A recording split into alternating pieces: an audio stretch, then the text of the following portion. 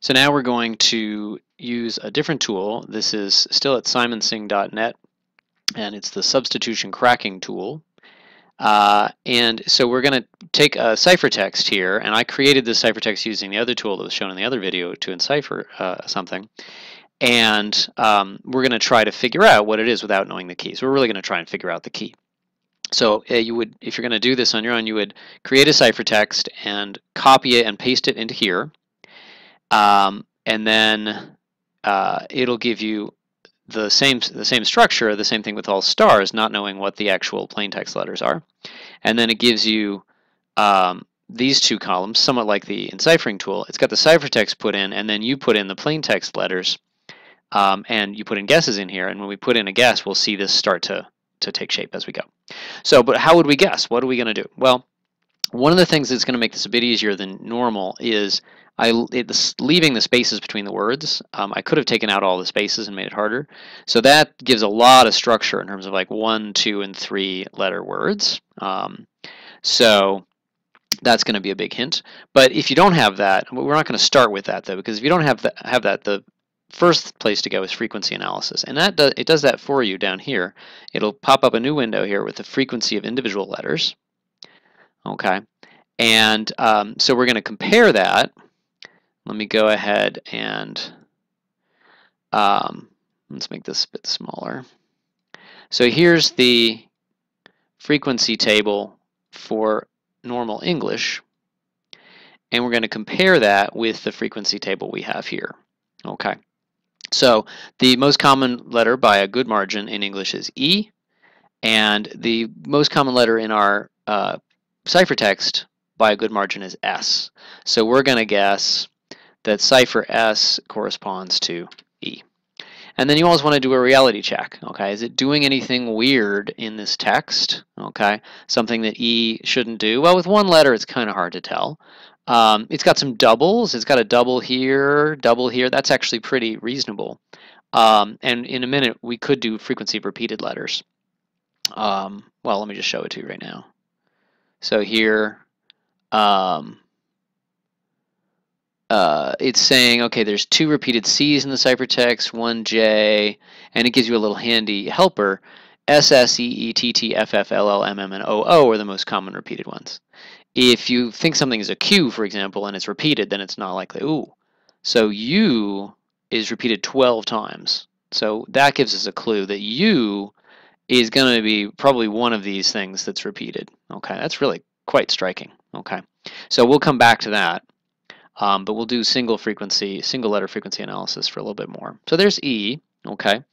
Um, the next most common letter, if we can go back to it, it's here, is T, although it's not a lot bigger than A. So T and A are probably our next targets, and then O, I, N. Okay, so if you just if you remember Etaoin, that's a pretty good uh, little uh, mnemonic to remember. Okay, so let's look for T.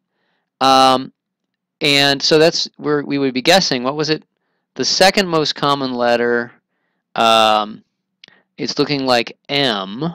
Okay, and we even before we guess that, we can look at this and say, hey, there's some three-letter words ending in E. Huh, that's pretty clear what a good guess for that would be. And indeed, if you look, it's the second to last word, uh, M. Okay, so M for T looks like a good guess. Okay, so based both on the three-letter word thing and the uh, um, this is the frequency. So we got some EETs. We got a lot of T blank E's. Um, nothing particularly weird. It's not the doubled one. It's not that U that's doubled a lot. Okay. So, um, but it looks it looks pretty plausible. Okay. Now, again, using the fact that we have the three-letter words, T blank E, T blank E, we're going to guess that, that corresponds to the Z in our ciphertext, we're going to guess H. Now H is not one you'd get by frequency analysis alone too quickly. Um, if you look at where it is in the frequency chart. Um, it's not uncommon, but it's not one of the first ones you'd pick, pick on. But that whole T blank E thing is, um, is definitely a, a giveaway. Okay. And even if we didn't have the three-letter words, even if we didn't have the, the spaces, the word boundaries, T-H-E, it shows up in they and their. So if you've got a T and an E and something in between it that's often the same letter, uh, H is a good guess. Okay, so, all right, so what's another one? Um, we could go to A. Looks like Y might be A, so let's make that guess. Y to A. Okay, see if it's it looks weird. Nothing truly bizarre that, um, oh, at, that's plausible uh, for a two-letter word. Nothing truly bizarre that A can't do, looks like. Okay, so not a sure thing. I think we're pretty sure of the TH and the E, but not. Um, but it looks like a pretty good guess. Okay. Um, now, there's another page that I want to show you that's really ha handy. I'm sure there's a bunch more out there. This is scottbryce.com, cryptograms stats. And he has some great stuff about most common first letter in a word, second letter in a word, most common third letter, most common last letter, more than half of all ends, words end with, etc. Digraphs here, most common digraphs. That's regardless of whether they where they show up in a word. What are the most common pairs? And that's something you can search for on the Simon Singh tool as well.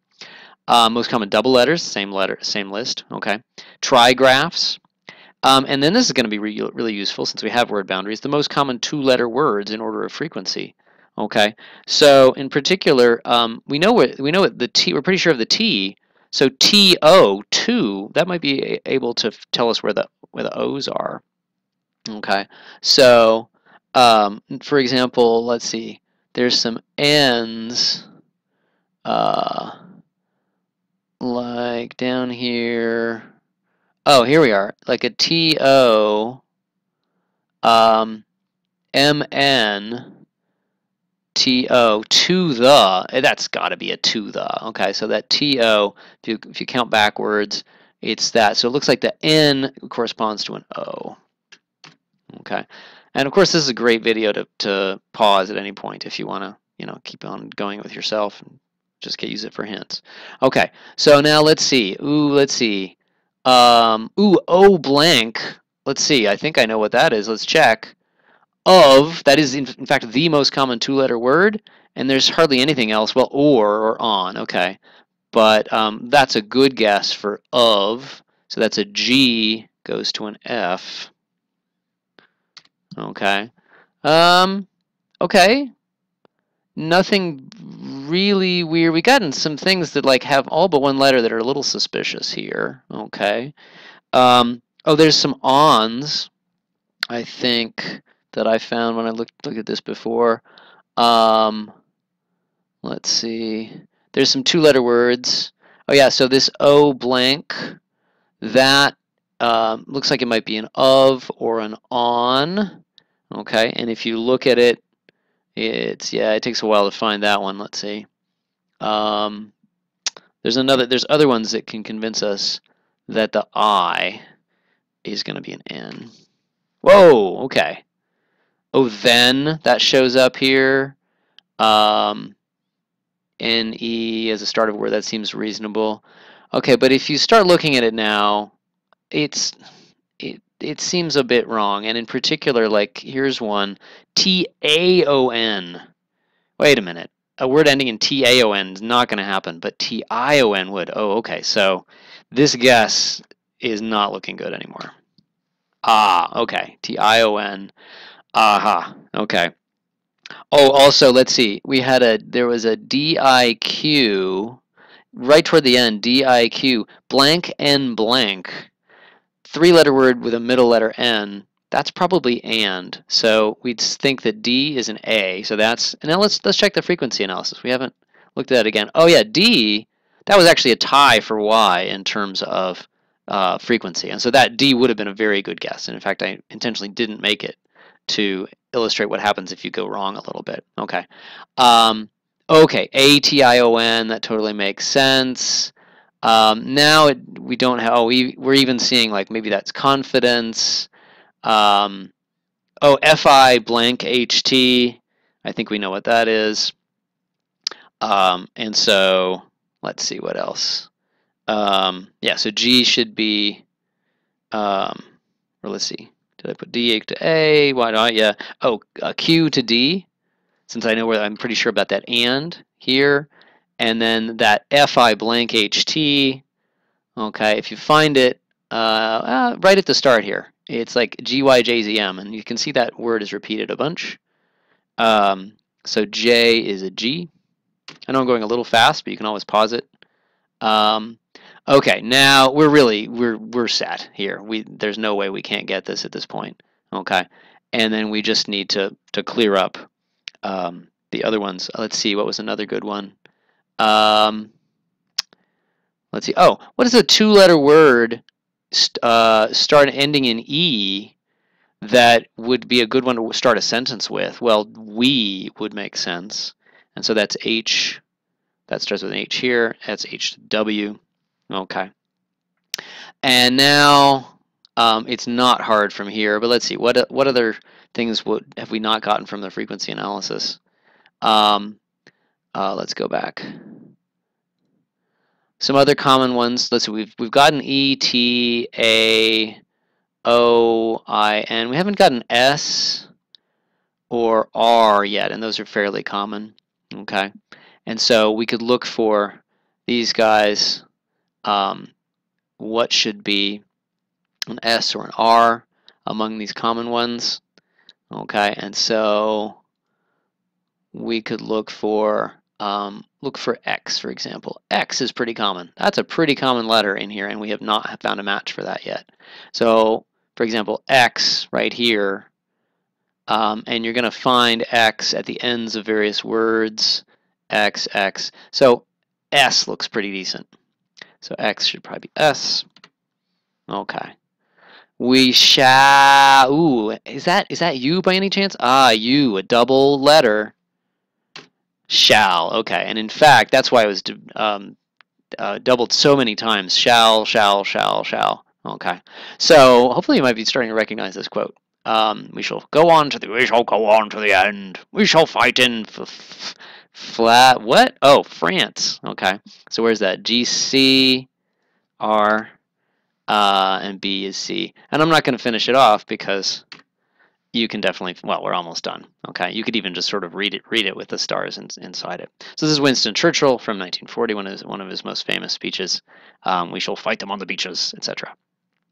Um, so we used a combination of frequency analysis, a little bit about repeated letters, not too much, uh, a little bit about two letter words, three letter words, things like that. Okay. Um, if you want to see uh, one more tool, it'll tell you the frequency of pairs of letters. Takes a minute to populate it. Okay, there we go. And so it'll give you pairs of letters in the in the ciphertext.